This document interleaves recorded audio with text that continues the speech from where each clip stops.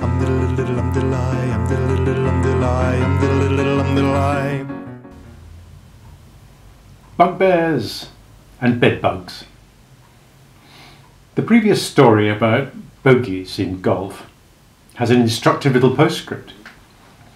Within a few years, golfers have forgotten the origin of the word bogey, and the par score for a course was blamed on a fictional golfer named Colonel Bogey.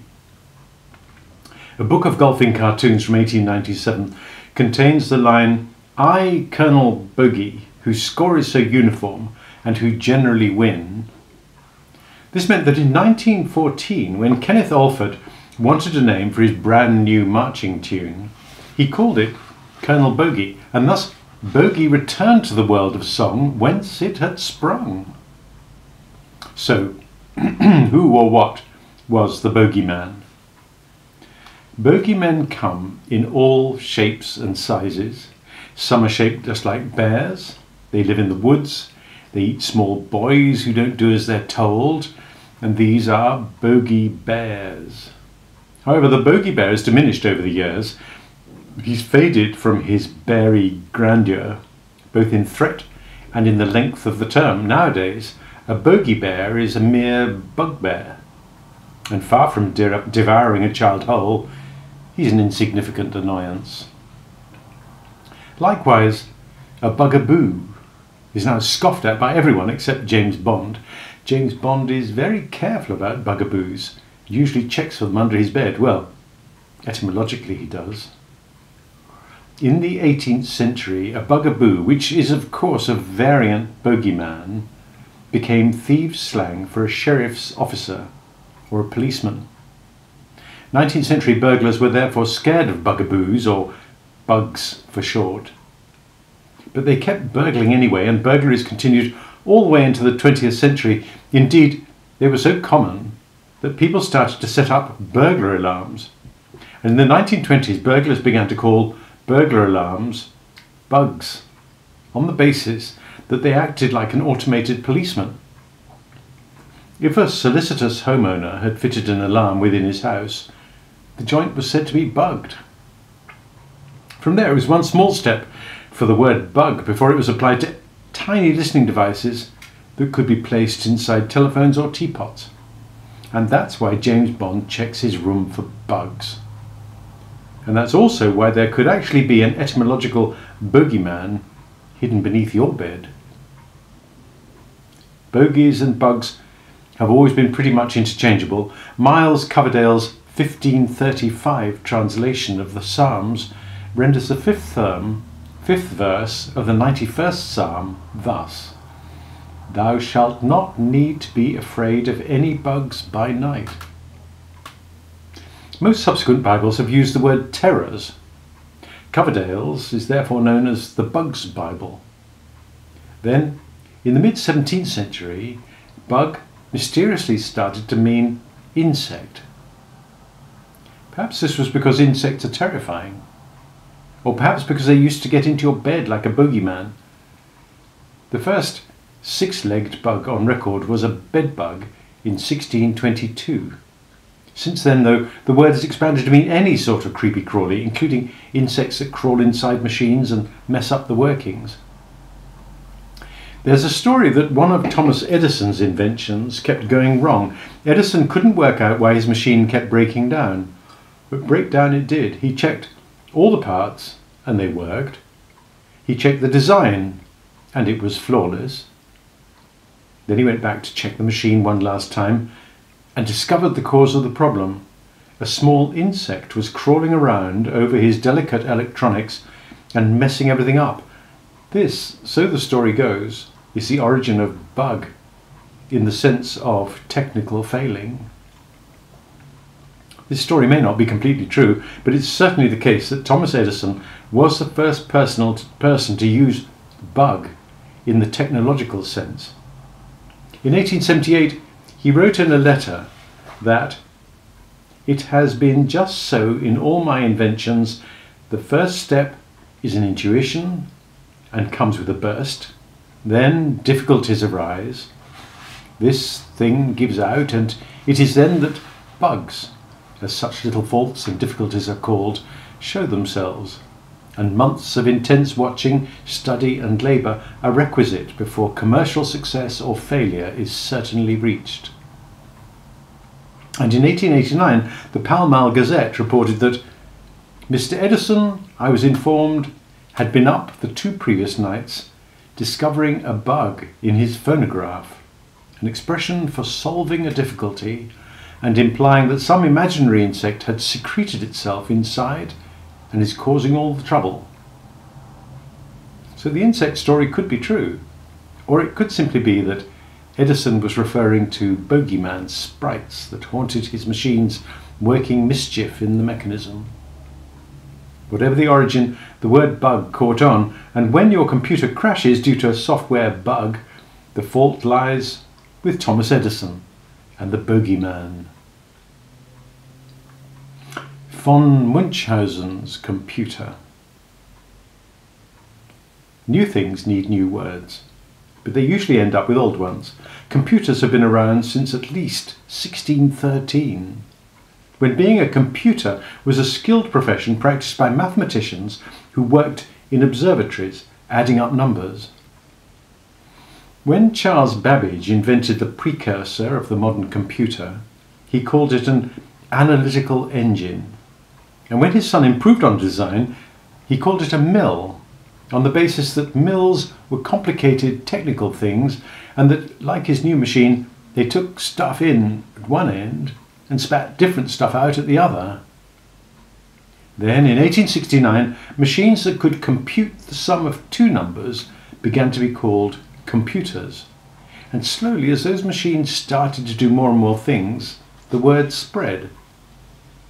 When the first modern computer was officially christened ENIAC, ENIAC, Electronic Numeral Integrator and Computer in 1946, it was already too late. Early computers were simply calculators, hence the name. Then they got software which had to be loaded up by the user. Then in the 50s, a method was invented whereby a computer would install its own software. The idea was that a single piece of code was loaded, which in turn would load up some more pieces of code, which would load more and more until the computer had a. But first, we must explain about Baron von Munchausen in the marsh. Baron von Munchausen, 1720 to 1797, was a real person who had fought as a soldier in Russia on his return home, he told stories about his exploits that nobody believed. These included riding on a cannonball, taking a brief trip to the moon, and escaping from a marsh by pulling himself out by his own hair. This latter feat is impossible, the upward force on the Baron's hair would have cancelled, been cancelled out by the downward force on his arm. It's a nice idea, though, and von Munchausen's preposterous principle was later taken up by Americans. But instead of talking about hair, the Americans started in the late 19th century to talk of pulling themselves up by their own bootstraps. What's impossible in physics is possible in computing. And computer that's able to load its own programs is metaphorically pulling itself up by its own bootstraps. In 1953, the process was called a bootstrap. By 1975, people had got bored with the strap, and from then on, computers simply booted up. Spam, not spam. In 1937, a new product came onto the American market.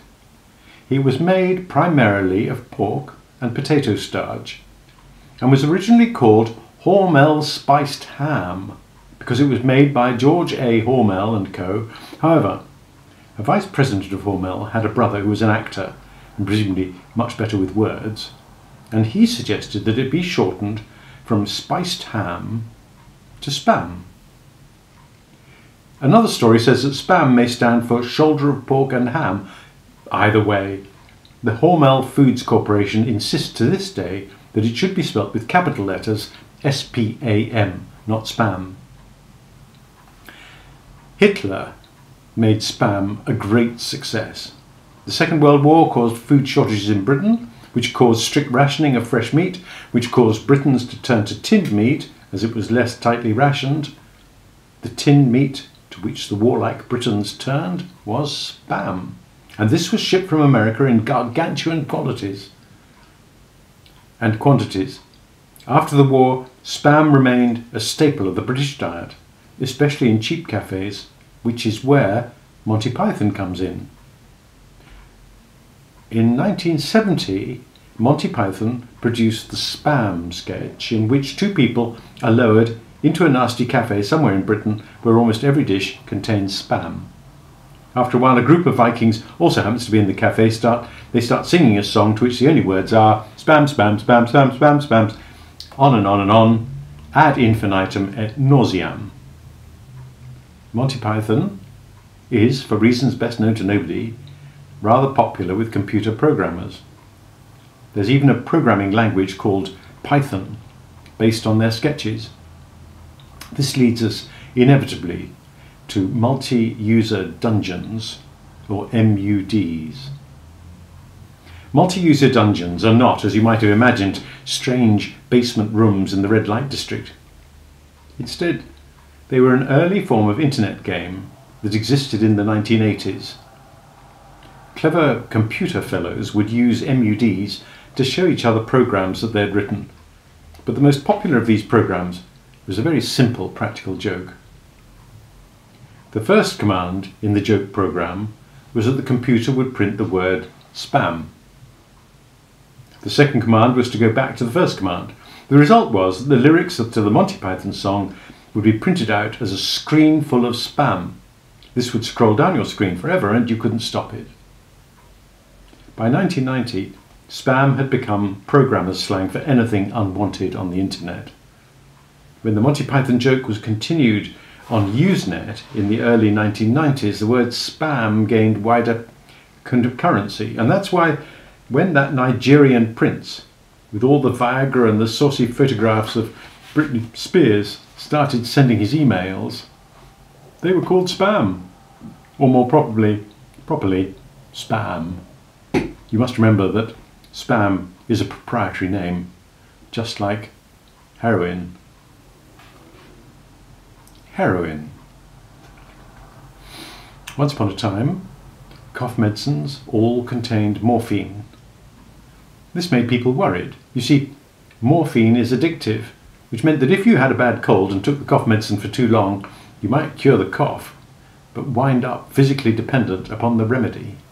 The poor cougher of a hundred years ago was therefore faced with a choice keep hacking away or risk becoming a morphine addict. And many chose the cough. So in 1898, a German pharmaceutical company called Bayer decided to develop an alternative. They got out their primitive pipettes and rude retorts and worked out a new chemical, diacetyl morphine, which they marketed as a non addictive morphine substitute. Like all new products, it needed a brand name. Diacetyl morphine was all right if you were a scientist, but it wasn't going to work at the counter of a drugstore. They needed a name that would sell, a name that would make people say, Yes, I want to buy that product. So Bayer's marketing chaps set to work. They asked the people who had taken diacetyl morphine how it made them feel. And the response was unanimous. It made you feel great, like a hero. So the marketing chaps decided to call their new product heroin. And guess what? It did sell.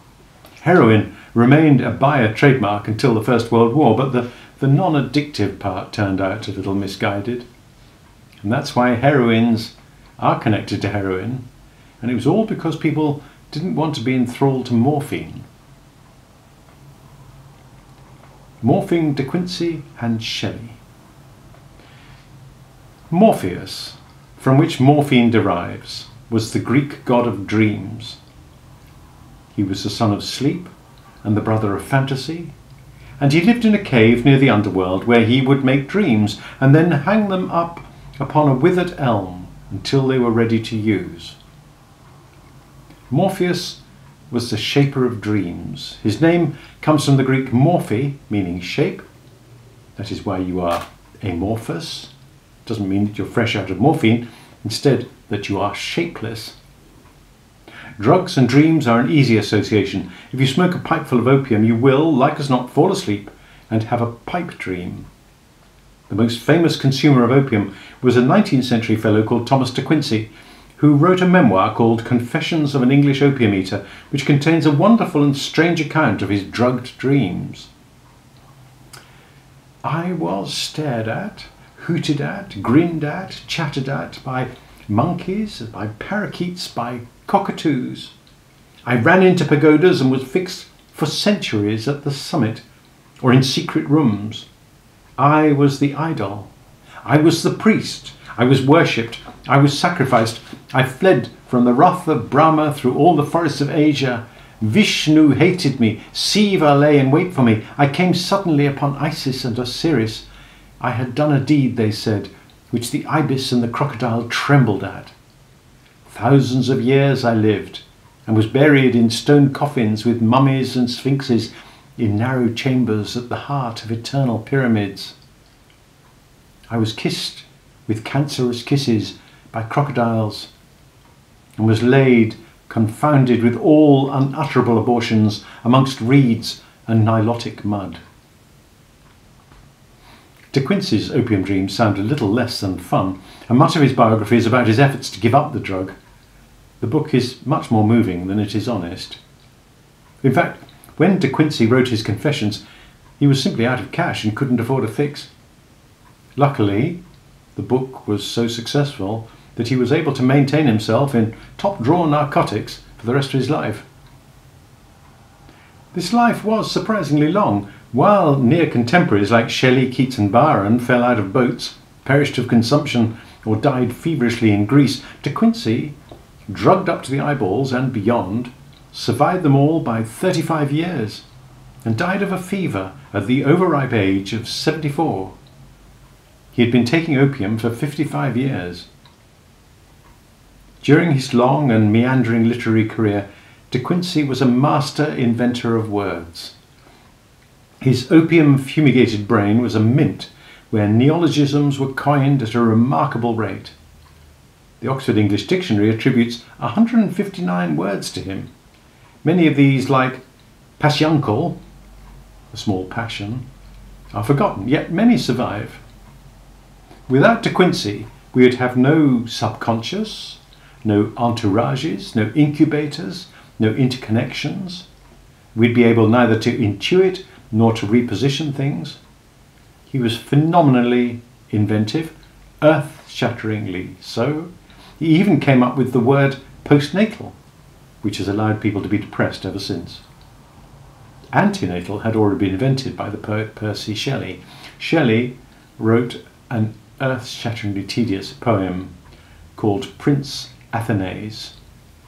The story goes like this basically, there's a prince and he's great and stuff, but like every second bloody hero of romantic poetry, he's mysteriously sad, nobody knows why.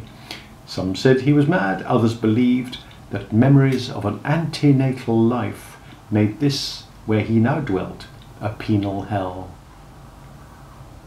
Others believed that Shelley had talent, but needed a damn fine editor. Like De Quincey, when Shelley couldn't think of a word, he just made one up.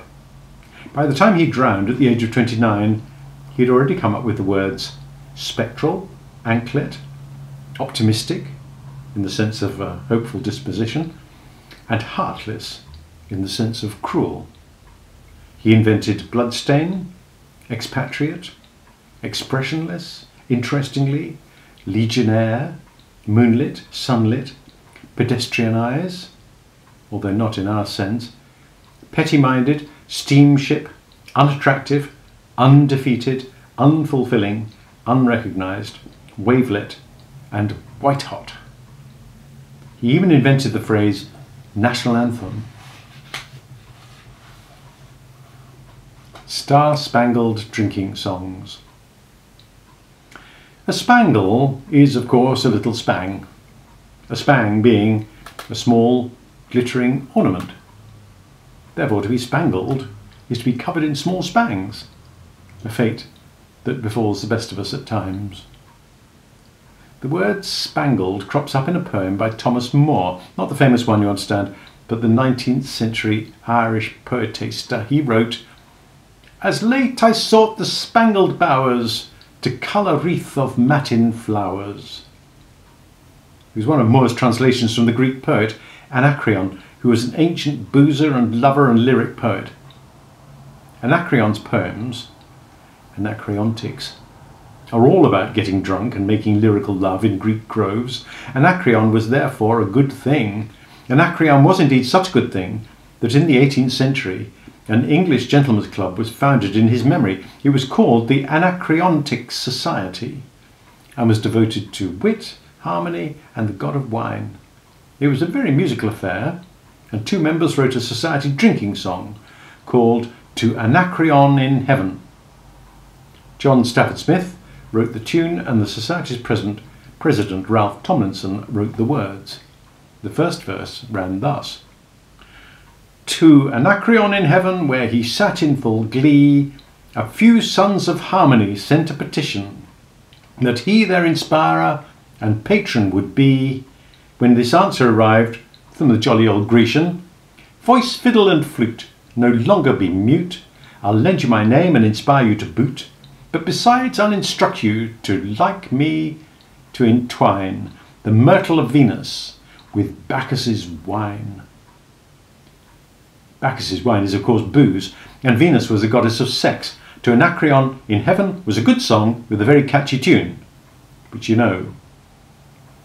Because it was hard to sing, it became an ad hoc test of drunkenness used by the police in the 18th century.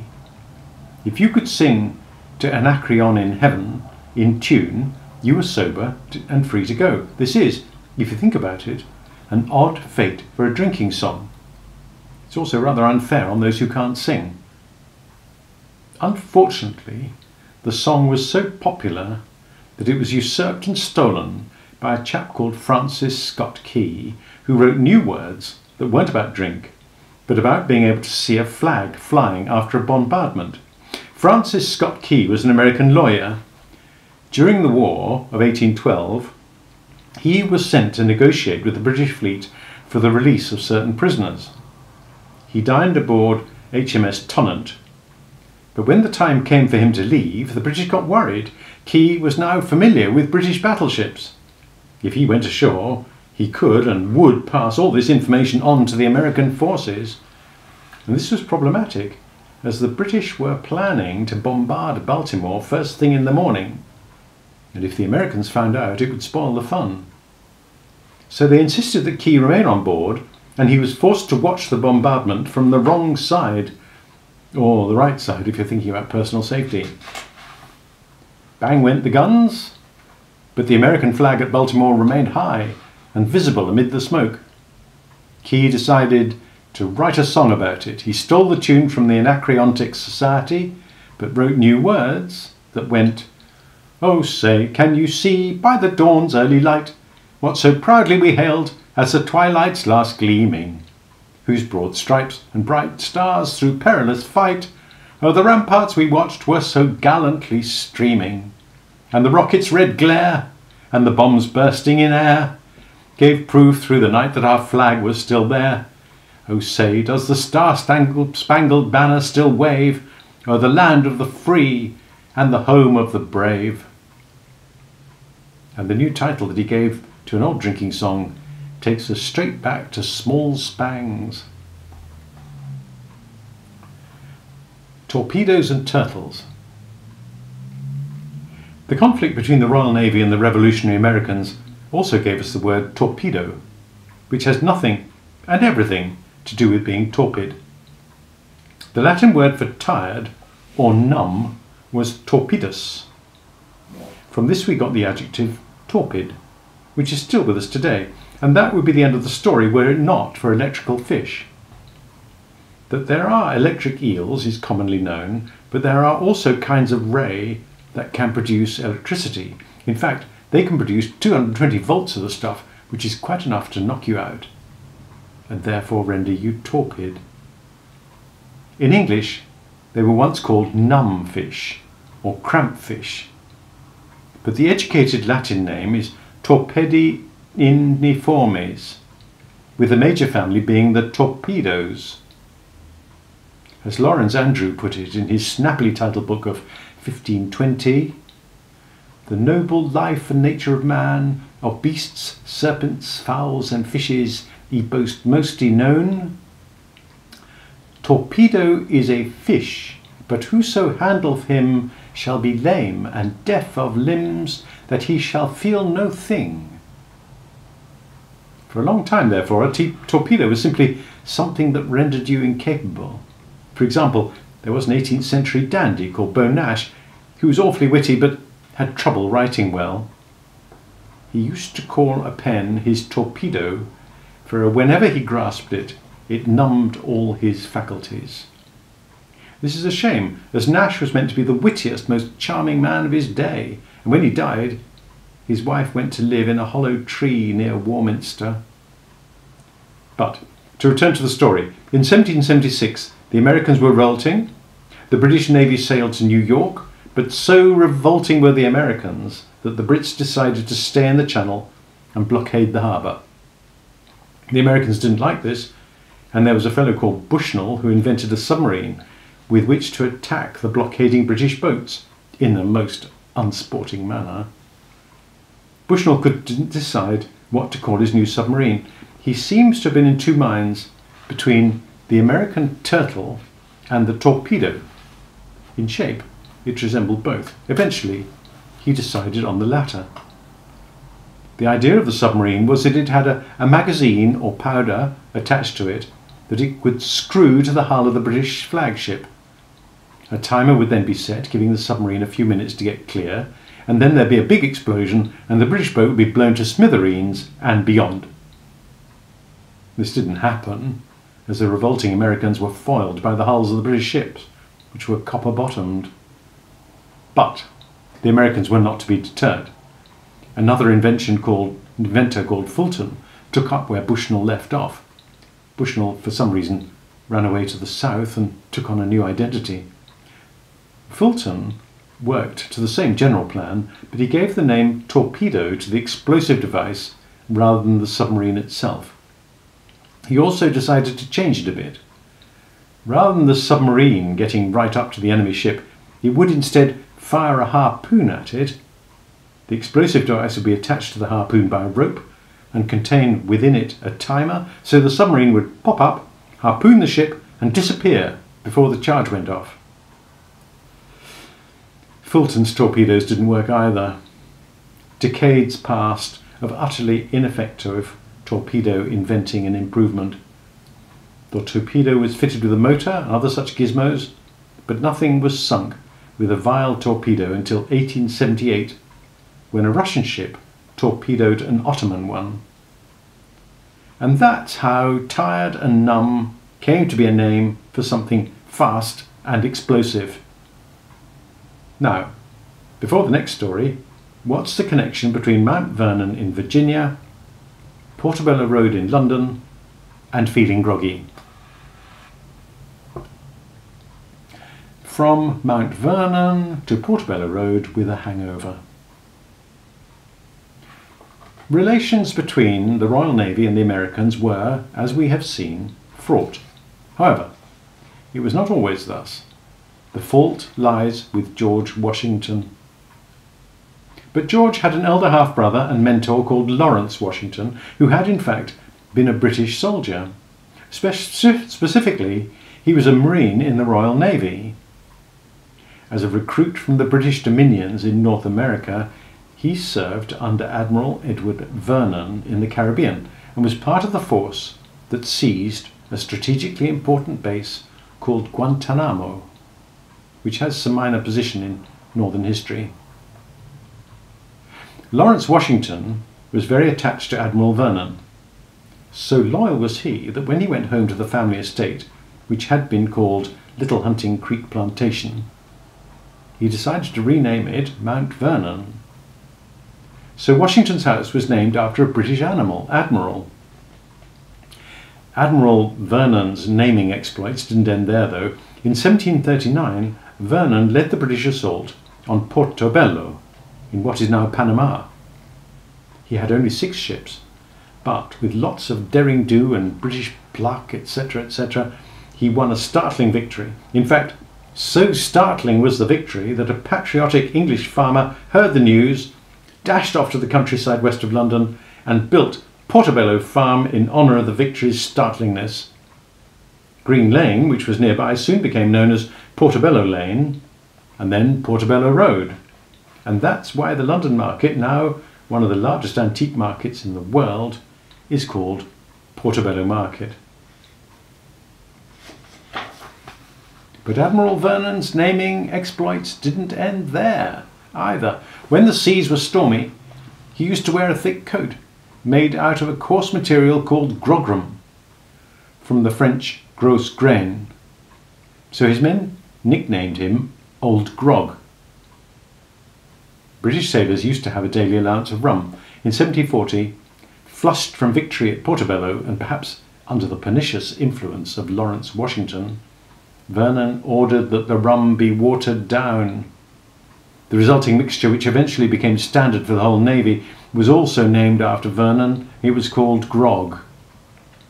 If you drank too much grog, you became drunk or groggy. And the meaning has slowly shifted from there to the wages of gin, a hangover. A punch of drinks. The etymology of alcohol is as unsteady as one would have suspected. For starters, the word alcohol is Arabic. This may seem odd given that Islam is a teetotal religion, but when the Arabs used the word alcohol, they didn't mean the same stuff that we do. Alcohol comes from al, meaning the, kuhul, which is a kind of makeup. Indeed, some ladies still use kohl to line their eyes. As kohl is an extract and a dye, alcohol started to mean the pure essence of anything. There's a 1661 reference to the alcohol of an ass's spleen. But it wasn't until 1672 that somebody at the Royal Society had the bright idea of finding the pure essence of wine. What was it in wine that made you drunk? What was the alcohol of wine? Soon, wine alcohol, or essence of wine, became the only alcohol anybody could remember. And then in 1753, everybody got so drunk that wine alcohol was shortened to alcohol. Spirits arrived in the drinks cabinet by almost exactly the same route, but this time from alchemy. In alchemy, there's the Arabic the again, al, every chemical was thought to contain vital spirits little fairies who lived in the substance and made it do funny things. On this basis, gunpowder contained fiery spirits, spirits, acid contained biting spirits, and things like whiskey and vodka contained the best spirits of all, the ones that got you plastered. It's odd that whiskey and vodka get you drunk at all, as according to their names, they're both water. Vodka came from the Russian voda, which means water, and indeed both words come from the same Proto-Indo-European root wador. The word whisky is surprisingly recent. It's not recorded before 1715 when it leapt into the lexicon with the sterling sentence, Whisky shall put our brains in a rage. Philologists, philologists, though, are reasonably agreed that it comes from the Gaelic Uisge Beatha, meaning water of life. Why the water of life? The Scots hadn't made the name up, they merely took it from alchemical Latin. Alchemists, who were trying to turn base metal into gold, could find consolation for their failure in the fact that it's pretty damned easy to distill alcohol, which they called ardent spirits or aqua vitae, water of life. It wasn't only drunken Scotsmen who took aqua vitae into their own language.